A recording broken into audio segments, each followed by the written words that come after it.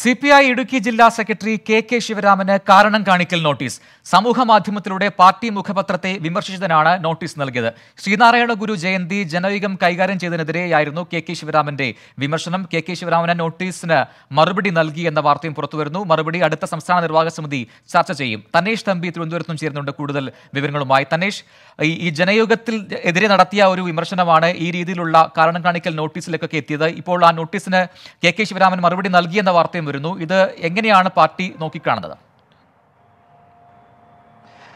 പ്രജിൻ ശ്രീനാരായണ ഗുരുദേവ ജയന്തി ദിവസമായ ആ ചതയം ദിനത്തിൽ രണ്ട് പത്രങ്ങൾ മലയാളത്തിൽ ഗുരുദേവന്റെ പടം മാത്രം കൊടുക്കുന്ന ഒരു സാഹചര്യമുണ്ടായി. അതിലൊന്ന് ജനയുഗമായിരുന്നു. അത് ഒരിക്കലും ഭൂഷണമല്ല. ഇത് കടുത്ത ഗുരുനിന്ദയാണ് എന്നുള്ളൊരു വിമർശനമാണ് K K Sivaraman Idukki C P I ജില്ലാ സെക്രട്ടറി കെ കെ ശിവരാമൻ ഫേസ്ബുക്കിലൂടെ പോസ്റ്റ് ചെയ്തത്. ഈ പോസ്റ്റ് വലിയ ചർച്ചാ വിഷയമാവുകയും പാർട്ടി ഈ പോസ്റ്റിനെതിരെ രംഗത്ത് വരികയും രാജാജി മാത്യു തോമസ് അതായത് ജനയുഗത്തിന്റെ ചുമതലക്കാരനായ രാജാജി മാത്യു തോമസ് ഈ കാര്യത്തിൽ ശക്തമായി പ്രതികരിക്കുകയും ഒക്കെ ചെയ്തിരുന്നു.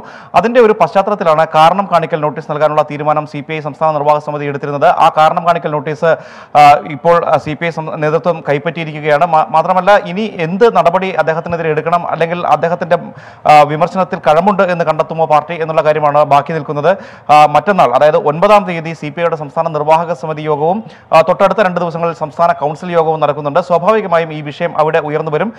കെ കെ ശിവരാമൻ നൽകിയ മറുപടി അടക്കമുള്ള കാര്യങ്ങൾ പരിശോധിച്ചായിരിക്കും ഇക്കാര്യത്തിൽ ഉചിതമായ നടപടി ഉണ്ടാവുക എന്നുള്ളതാണ് പ്രതീക്ഷിക്കുന്നത്. ശരി തനേഷ് തമ്പിയാണ് തിരുവനന്തപുരത്ത് നിന്നും വിവരങ്ങൾ നൽകിയത്.